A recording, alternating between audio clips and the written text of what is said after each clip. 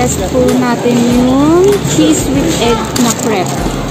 Kung ano yung lasa niya. Let's see. And then, uy, medyo nag-leak na siya. So, yun. Gitna. Ang init pa, may cheese.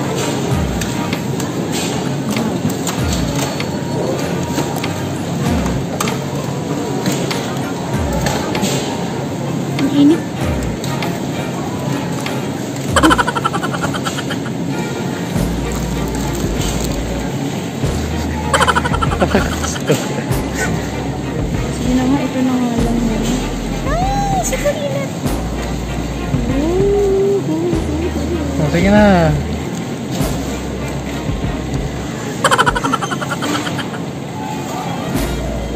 Wait. Oh.